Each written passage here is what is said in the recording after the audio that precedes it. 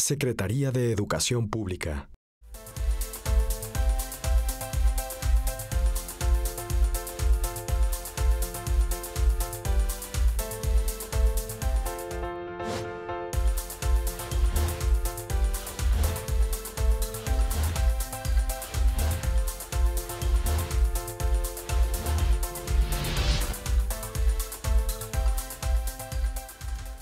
Me da mucho gusto saludarle, gracias que nos acompaña en una emisión más de Educación al Día. Mire, hoy vamos a tener un programa muy interesante. Déjeme le platico. E- En la actualidad, la actualidad, la educación, pues va más allá, tiene que ir más allá del sistema tradicional. Y más aún cuando hablamos de educación superior. Nuestra sociedad ha evolucionado junto con la tecnología para, para esto, para ir más allá, aprender y prepararnos sin necesidad estar en un salón o acudir eh, diario a la escuela. Hoy en día estudiar una licenciatura o incluso maestrías y doctorados es posible gracias a esta transformación. La UNAM, nuestra máxima casa de estudios, es un claro ejemplo de estas nuevas opciones. La educación abierta y a distancia y cada vez son más, cada vez son más los jóvenes y no tan jóvenes que hacen suya alguna de estas modalidades. Me da mucho gusto saludarle en este espacio y saludo como siempre a mi compañera Judith Gradilla. ¿Cómo estás, Judith? Muy bien, Enrique, me da mucho gusto saludarte y por supuesto a todos mis amigos de Educación al Día. Bienvenidos a este programa en el que hoy conoceremos las diversas opciones para estudiar una carrera o un posgrado en sistema abierto y a distancia. Si te parece, Enrique, vamos a conocer en qué consisten estas modalidades. La Universidad Nacional Autónoma de México brinda múltiples opciones de estudio y en diversas modalidades. La Universidad Abierta fue inaugurada en 1972, siendo rector Pablo González Casanova. Desde entonces ha sido una opción que sigue vigente para todas aquellas personas que por alguna razón no puedan realizar los estudios de manera presencial. Otra modalidad es a distancia. Su significado es distinto. Gracias al uso de las tecnologías, el estudio de alguna licenciatura y posgrados se hacen por Internet. El contenido académico es el mismo, con profesores en línea. Derecho, ciencias políticas, economía, relaciones internacionales y enfermería, entre otras, forman parte de las 22 licenciaturas en ocho facultades y una escuela en modalidad abierta. En la modalidad a distancia se ofertan un bachillerato, 20 licenciaturas, 9 maestrías y 6 especializaciones, las cuales se imparten en sedes ubicadas en el extranjero y en centros a distancia en la República Mexicana. La UNAM ha conformado una red de sedes de educación continua, abierta y a distancia. A la fecha cuenta con 36 sedes en los estados de Tlaxcala, Oaxaca, Estado de México, Hidalgo, Tabasco, Querétaro, Chiapas, Puebla, Sinaloa, la Ciudad de México y la zona metropolitana. En estas sedes, la UNAM ofrece 19 licenciaturas en su modalidad a distancia que imparten nueve entidades académicas. Estas licenciaturas corresponden a psicología, administración, ciencias políticas, trabajo social, enseñanza de idiomas, informática y enfermería. La UNAM cuenta con una plataforma a la que los alumnos voltean a ver como una alternativa con calidad académica. Bueno, pues ahí tiene usted esta información y quién mejor, quién mejor para hablarnos de este tema que el propio doctor Francisco Cervantes Pérez, que es el coordinador de la Universidad Abierta y a Distancia de la UNAM. ¿Cómo le va, doctor? Muy bien, Enrique. Gracias por acompañarnos, No, es un privilegio tenerlo en este espacio. ¿De qué va este programa, doctor? Cuéntenos. Miren, eh, la Universidad Nacional Autónoma de México desde hace muchos años se preocupa por eh, atender a la población que va más allá del, del campus. En 1972 se crea la- el sistema Universidad Abierta, que está dirigido a la población de la zona metropolitana que no puede ir al salón de clase. Trabaja, vive lejos de los planteles, este, tiene responsabilidades familiares, etcétera, etcétera. Y eh, de esa manera eh, se extiende la universidad más allá del salón de clases. Y hace rato tú mencionabas que la sociedad ha ido cambiando. Sí. Entonces estamos, empezamos hablando de la sociedad de la información. Luego vimos que la información no es suficiente, que la tenemos que transformar en conocimiento. Entonces hablamos de la sociedad de conocimiento. Y ahora estamos hablando que el conocimiento tampoco es suficiente si no lo utilizamos para mejorar las condiciones de la sociedad. Entonces estamos hablando de la sociedad del aprendizaje.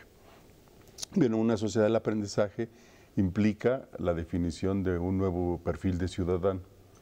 Y de acuerdo a ese perfil de ciudadano, las universidades tienen la obligación de formar a los profesionistas con ese nuevo perfil. Claro. Entonces tienen que cambiar. Tienen que ir adecuándose a las circunstancias de la sociedad, de la educación también, doctor. Sí, y aparte eh, tengo un amigo, Manuel Moreno, eh, que dice que en el futuro vamos a tener que pedir disculpas, porque encerramos a los jóvenes seis horas al día entre cuatro paredes y todavía les pedimos que aprendan. ¿no? Sí, Entonces- pobres, ¿no? Todavía están encerrados y todavía tienen que entonces, aprender. eh, tenemos que ver la manera de que el estudiante sea atendido en función de sus necesidades y no de las limitaciones de la institución. O sea, la institución ofrece una materia martes y jueves de 12 a 2 en un salón específico, con un profesor específico, porque eso es lo que tiene.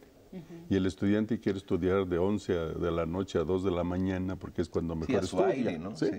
Entonces, necesitamos ir atendiendo las necesidades de los estudiantes entonces eso obliga a buscar nuevos modelos académicos para poderlo hacer. Eh, el SUA, que surge en 72, va evolucionando. 45 años. Sí, 45 años estamos cumpliendo. Y en 97 se transforma en la coordinación de Universidad Abierta y Educación a Distancia. Se incorpora la educación a distancia este, por primera vez. El primer programa de licenciatura surge en 2005 en la UNAM. Actualmente tenemos 20 carreras eh, de, de licenciatura en modalidad a distancia. Tenemos 22 en la modalidad abierta. Y la educación a distancia permite ya no solo atender a la población de la zona metropolitana, sino en general a la población de todo el país. Eh, también los, los programas de posgrado. Educación superior son licenciatura, posgrado y educación continua. Entonces, en los tres pilares de la educación superior, la UNAM tiene una oferta amplia en modalidad a distancia. El- incluso tú mencionabas los posgrados. Eh, los doctorados en la UNAM son doctorados de investigación y no tienen modalidad. El estudiante puede estar del laboratorio con el investigador o puede estar a 10.000 kilómetros, siempre y cuando tenga las condiciones para poder hacer la investigación que es parte de su programa doctoral. Esto está muy interesante porque puede estar a las 12 de la noche, como lo decíamos hace ratito, y estudiando. Oiga, doctor, y yo supongo que ha ido en aumento el número de alumnos que ahora prefieren estudiar en esta modalidad. Bueno, eh, en México tenemos casi 4 millones de estudiantes en educación superior, 3 millones 800 y tantos mil. De esos, casi 500 mil estudian en modalidad no presencial. Entonces ya es el 12.5%. En la UNAM, eh, del 2004 para acá, 2004, la- los estudiantes en el SUA eran alrededor del 5% de las licenciaturas. Actualmente la UNAM tiene 205 mil eh, estudiantes en licenciatura, de los cuales 31 mil estudian en modalidad abierta o a distancia. ¿Cómo se diferencian, aparte del número de, de estudiantes en uno y otro sistema, el de abierto y el de distancia? En abierto tenemos 18 mil estudiantes y este, te digo, este, este modelo lo que hace es que transforma las sesiones eh, presenciales en una guía.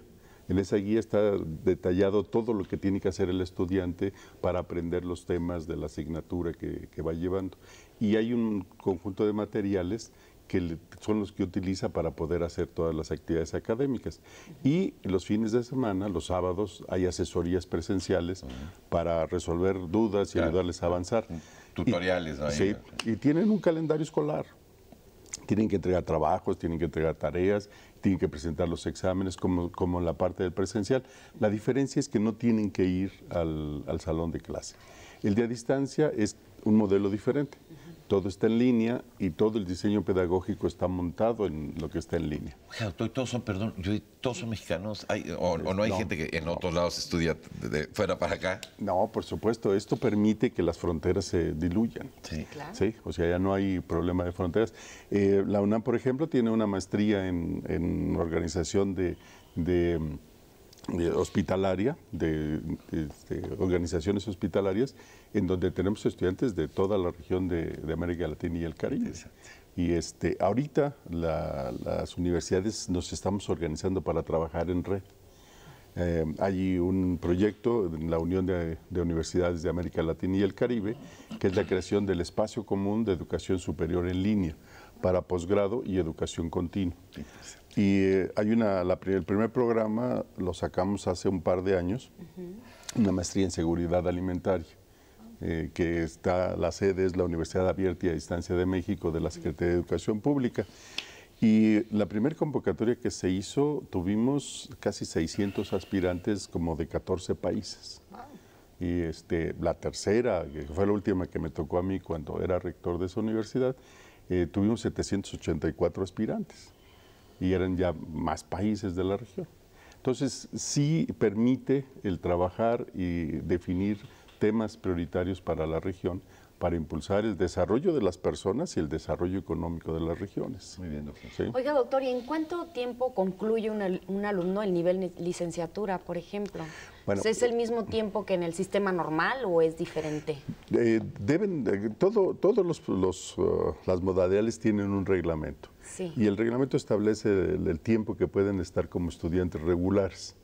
En la parte presencial, un estudiante puede tener el, el tiempo que marca el plan de estudios más la mitad del tiempo. O sea, en presencial pueden durar hasta seis años para terminar sus materias. En modalidad abierta y a distancia pueden durar hasta el doble de tiempo. Pueden durar hasta ocho años para terminar. La población es diferente. Sí. O sea, la población en abierto y a distancia fluctúa entre los... uh, conozco estudiantes que estuvieron a los 13 años y estudiantes que están a los 82. O sea, la gama es amplia. La, parte, la parte gruesa está entre los 25 y los 40 años. Sí. ¿Menos tiempo no hacen? ¿Pueden hacer menos Pueden tiempo? hacer mucho menos tiempo. También. ¿No? Porque si un estudiante no quiere ir al presencial y puede estudiar tiempo completo, puede ir más rápido. Claro. Y puede ir termina. avanzando materias, Sí. entregando trabajos y puede avanzar. y puede avanzar. El, por ejemplo, el bachillerato a distancia de la UNAM este, es un programa diseñado específicamente para la modalidad, pero con cambios en donde las innovaciones están en el diseño curricular. En lugar de ser tres años, se hacen dos años.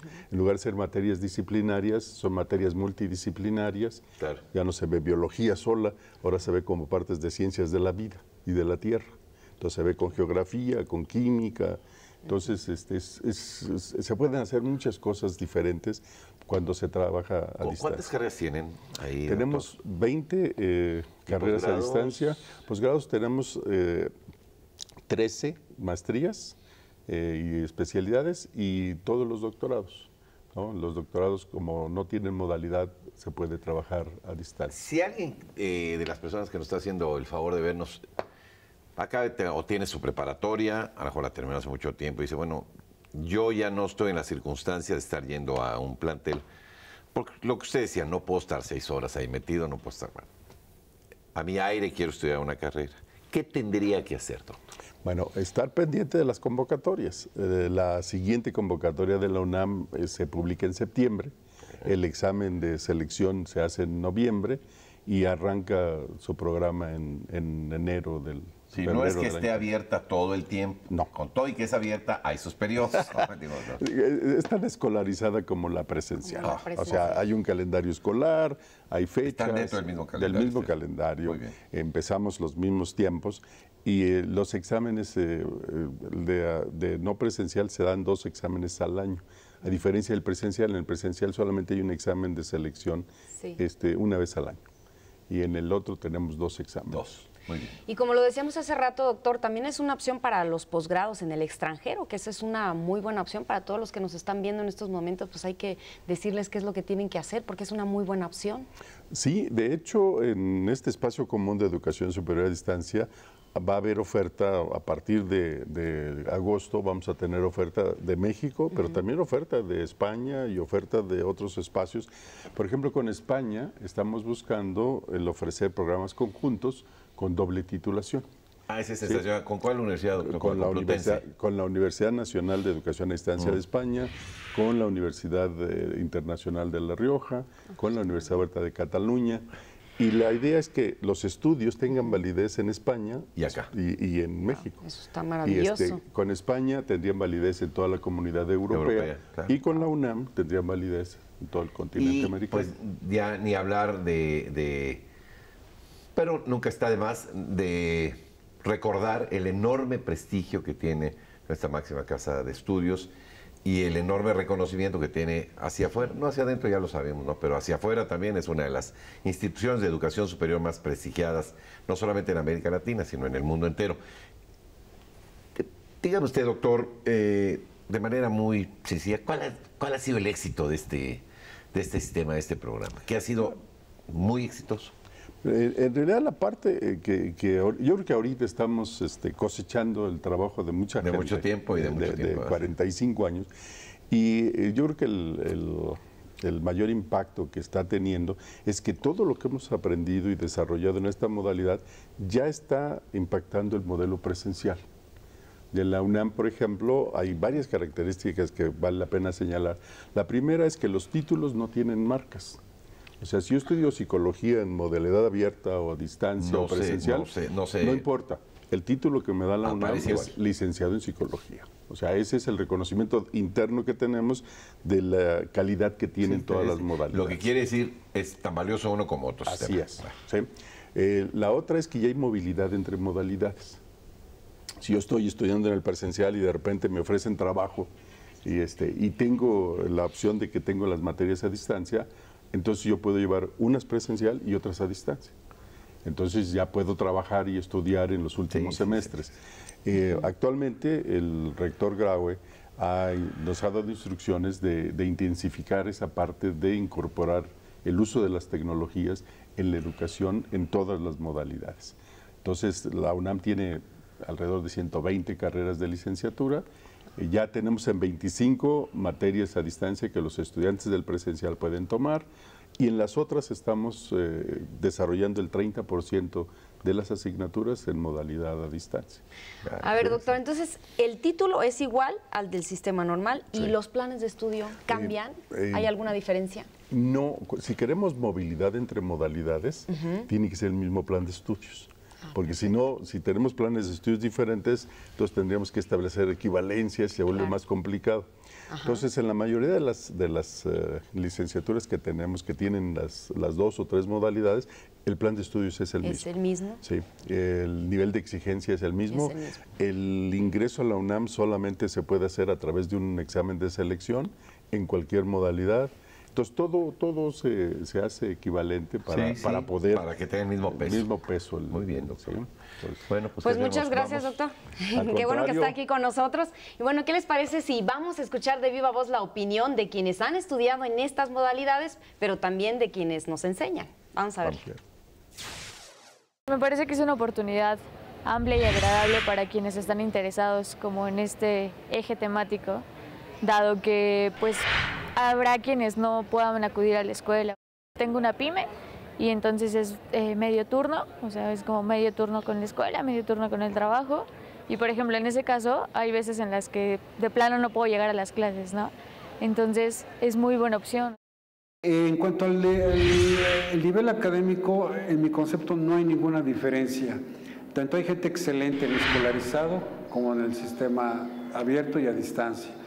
Eh, en, caso- en el caso de la facultad no, no hay diferencias en los planes de estudio. Los planes de estudio son iguales. Eh, las mismas materias, los mismos semestres, etcétera. Los créditos igual, los títulos eh, universitarios no son los mismos, no van a, no van a decir este, licenciado en ciencias de la comunicación, modalidad X, no, absolutamente el título es el mismo. Y eh, eso permite que, bueno, el nivel académico exactamente las mismas responsabilidades, El programa aquí tiene una gran innovación que es poder salir y al mismo tiempo estar aquí. Esta suerte de estar intercambiando con el extranjero y aquí al mismo tiempo, simultáneamente, ha, favorecido mucho. Mi última experiencia fue en Buenos Aires, Argentina, donde estaba cursando allá, pero al mismo tiempo estaba siendo evaluado acá. Entonces, esta, esta educación a distancia favoreció mucho, estar dialogando simultáneamente con ellos y aquí, pues fue clave. Bueno, mire usted qué interesante esto que le presentamos. Yo pues, tenía una última pregunta, doctor. Eh, ¿Cómo anda el tema de, de- de género, en el equilibrio, en esta equidad que tiene que haber? ¿Cuáles son las carreras más solicitadas? Platícanos un poquito, las edades. Miren, en términos de género, eh, yo diría que es un poco más mujeres que hombres. Mira qué interesante. ¿ok?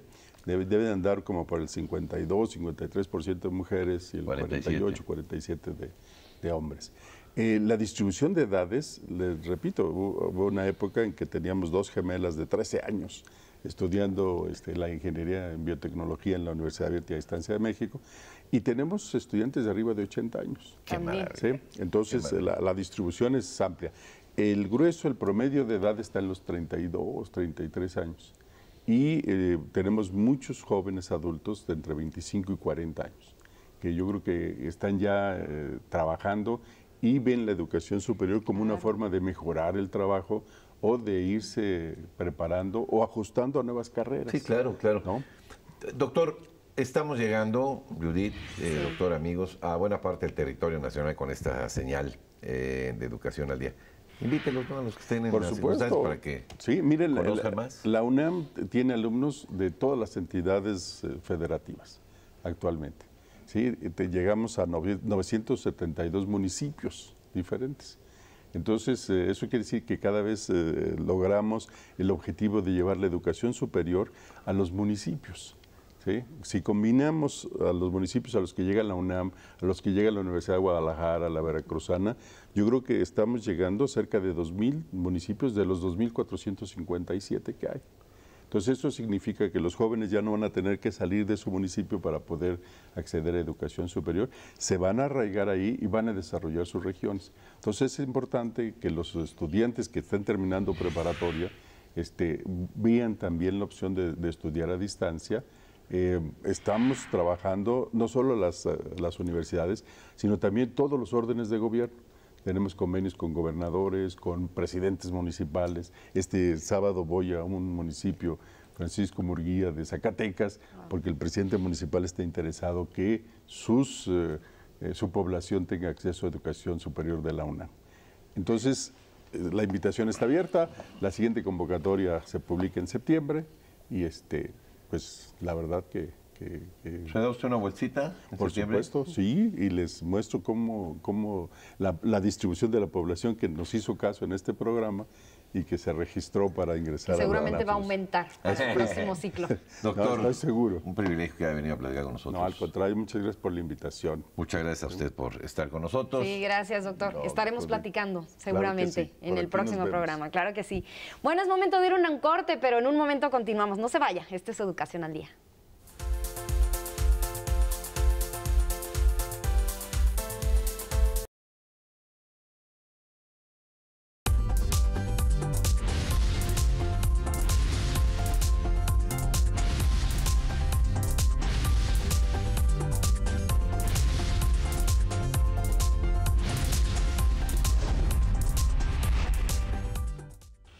Ya estamos de regreso, qué bueno que sigue con nosotros y le damos la bienvenida a nuestro compañero Lalo Gaitán. Lalo, ¿cómo estás? Qué gusto Muy bien, saludarte. Judith. No, el gusto es mío, Enrique. ¿Cómo están?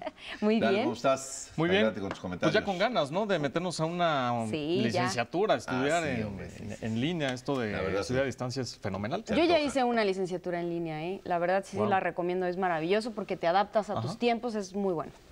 Yo he estado también, bueno, presencial, parte presencial y parte también, eh, una licenciatura así, y la verdad es que te permite estar a tu aire. Claro, ¿no? Decir, a tus necesidades, tus propias tus tiempos. necesidades. Muy bien. Digamos que he estado en los dos sistemas y este me parece que tiene enormes ventajas. Así es que. Faltas hombre, tú, Lalo. pues no. Sí, sí, yo les comparto que estoy a punto de entrar a la maestría. Ya Perfecto. este, también eh, en, en línea, así que seguiré el ejemplo del señor. Nos tus calificaciones, sí, por favor. No, mejor vamos a hablar de deportes. que Bueno, vamos a hablar de deportes mejor. Este, tema, este Sí. tema es eh, muy interesante porque en estos dos sistemas, ya sea abierto o a distancia, ambas son alternativas ideales para un deportista de alto rendimiento, porque la exigencia del entrenamiento diario y la preparación exhaustiva que la primera fuerza requiere deja muy pocas horas de estudio al día a los deportistas, pero a pesar de lo absorbente que llega a ser la carrera de un atleta, existen afortunadamente estas dos opciones que ofrece la Universidad Nacional Autónoma de México, pero es importante seguirlas para no tirar la toalla en la preparación académica. Claro, una es más demandante que la otra, pero ambas tienen un requi- un requisito indispensable que es la disciplina. Ya lo hemos visto en este programa, el sistema abierto es necesario asistir al menos una vez a la semana para asesorías, entregas de trabajo, tareas, presentación de exámenes, platicar con los maestros, con los compañeros. En cambio, el sistema a distancia es un poco más complicado, este es conocido también como online, da total libertad a los estudiantes de acomodar su horario dando prioridad a los entrenamientos, claro, sin que una deje de ser más importante que la otra. Vale la pena recalcar y subrayar y hablar otra vez de estas dos palabras, disciplina y orden tanto en el terreno de juego, en la pista, en el tatami, en el gimnasio, como en el plano estudiantil. La misma constancia y dedicación en el deporte debe ser impresa en los estudios, tal y como nos platica Jocelyn Ramírez, estudiante de Relaciones Internacionales por nuestra máxima casa de estudios, que se acercó al sistema abierto para maximizar sus tiempos de entrenamiento en la lucha asociada y lograr un título universitario. Esto fue lo que nos compartió. Como yo soy deportista, decidí, bueno, quería algo que me permitiera seguir practicando mi deporte diario y creía que en el sistema presencial no se me iba a permitir mucho, ¿no? Porque hay que dedicar bastantes horas a estar presente. Y en este sistema, pues se me está facilitando porque yo organizo mis tiempos al día. Yo me digo, bueno, en la noche tengo tantas horas para estudiar o en la mañana que no estoy haciendo y ya en la tarde voy a entrenar. En la plataforma, hay una vez a la semana tenemos diferentes materias, ¿no? Están organizadas como si fueras a la escuela, pero en línea. Y también tienes la opción de ir a la escuela. O sea, si no, en caso de que no puedas asistir, la tomas en línea. Me informaron ahí en la dirección de actividades deportivas de aquí del, de CEU que, que, el sistema abierto precisamente estaba acoplado para personas así, ¿no? Que les gustan hacer otras actividades. Y por eso elegí este sistema. Es una buena oportunidad para trabajar, bueno, trabajar y estudiar, eh, porque los horarios son un poco más flexibles. Lo que sí es que requiere de muchísima como disciplina y de pues constancia de tu parte, porque no es como que tengas alguien que te esté diciendo, la próxima clase entregas esto o, o cosas. Tú solito tienes que ver como, sí organizarte muchísimo y hacer tu planeación del semestre para poder cumplir con todas las materias. A pesar de que es un programa que te facilita más eh, como el, estudio en los momentos en que tú lo tienes disponible, de todas formas no, no quiere decir que no le tengas que dedicar tiempo. Entonces eso a veces es como complicado. Agradecemos las palabras de Jocelyn y también de Sandra Flores, quienes nos compartieron su experiencia y han sido destacadas deportistas y por supuesto también estudiantes, así que pues hay que seguir su ejemplo si usted está pensando, amigo televidente que eh, nos está viendo en este momento, entrar a una de estas dos modalidades, continuar con su trabajo, continuar con el deporte, pues ya vimos que sí se puede. Claro, por supuesto la que verdad se puede. sí, hay muchos deportistas futbolistas, bueno, futbolistas una cantidad. No, futbolistas muchísimos. Hugo Sánchez, por ejemplo, pues, ¿no? Que, Buenísimo. eh, eh, egresado de la UNAM como eh, Es odontólogo, médico ¿no? odontólogo, ¿no? Sí, fíjate Hay que muchos. los que son eh, los canteranos de la UNAM, los que juegan en el primer equipo y que son de las fuerzas básicas del equipo de la UNAM, eh, tienen como principal punto requisito tener una licenciatura. A mí me parece maravilloso Pues eso. el Picolín, ¿no? Es abogado. Sí, así Sí, es. sí, Darío sí. Verón también estudió en la UNAM. Bueno, hombre, Miguel pues mire. España, Carlos Santillán. No, pues hay una sí, cantidad. sí, sí. ¿Qué creen que ya nos vamos? No, sí, Enrique, ¿cómo? Rápido. No ya se nos vamos. acabó el tiempo. Bueno, sí, ya nos vamos por hoy, pero bueno, los invitamos para el próximo programa, Sí, ¿no, pues, Enrique? claro, Porque seguramente por vamos a tener muchas cosas interesantes que contarle. Acompáñenos en esta aventura por el mundo del conocimiento la próxima semana. Hasta mañana, hasta mañana. hasta Nos mañana. vemos.